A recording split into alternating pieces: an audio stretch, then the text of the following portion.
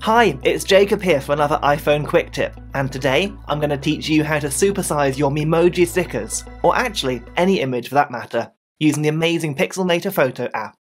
As great as Memoji stickers are, they are quite low resolution, and that means if you want to use them for anything bigger than just on a phone screen, they can look pixelated really easily.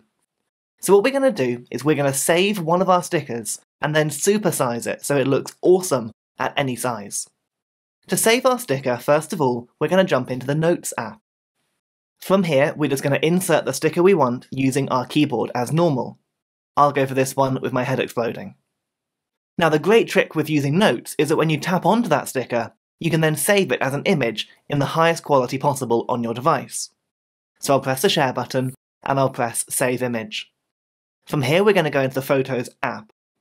Okay, now that image is saved into Photos, I'm going to quickly add it to my super resolution demo album, just like this. And in that album, I've now got two Memoji stickers. Now, as of iOS 15, you can get metadata on your pictures. That means things like the date it was taken, where it was made, or even the size of the pixels themselves, the resolution. And if we swipe up on the photo, we get all that information at the bottom of the screen. As you can see, Memoji stickers are only 421 pixels square, that's really quite small, and does explain why you can't use them in many ways before they become pixelated. Well, let's change that resolution now, and make them much bigger and much clearer. And to do that, we're going to use the Pixelmator Photo app.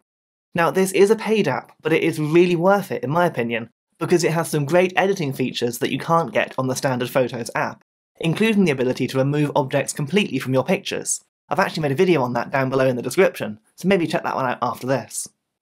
Okay, if I jump onto the album now, with my supersized demo images and open one up into Pixelmator, as I zoom in, you'll see just how pixelated it looks. Now I've got that sticker opened in Pixelmator, I'm going to press the three dots in the top corner of the app, and I'm going to choose Super Resolution. Now this is going to use machine learning to automatically upscale your picture and to keep it sharp and crisp. I hope you can see the difference, it's really startling when you look at your own phone. It's suddenly clearer, it's sharper, and the actual picture is much bigger in resolution as well. While I'm here, I'm going to press the tick in the top corner to save that sticker and modify my original, and then I'm going to do the same thing on my second emoji sticker as well. So I'll press the three dots in the top corner, I'll go on to super resolution, and just like that, I've upscaled another Memoji sticker. In Pixelmator Photo, you can even swipe between before and after using this button on the top toolbar.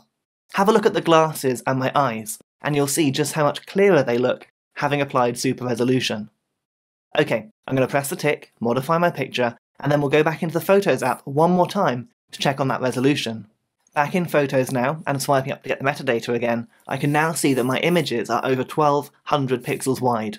That's 9 times more pixels than there were before. And my sticker still looks crisp and sharp and beautiful, and now I can use this anywhere I like. In fact, if we put the phone to one side for a minute, and I load up my original sticker on the screen for you now, and my supersized one, you'll see just what a difference in terms of scale and clarity you can achieve with this app. And that's it for today. I hope you found this quick tip helpful, and I hope it's taught you something new you can do on your device. If you want to learn more cool new things, jump onto my channel down below and subscribe. There are hundreds more iPhone and iPad videos waiting for you there. I'll see you next time.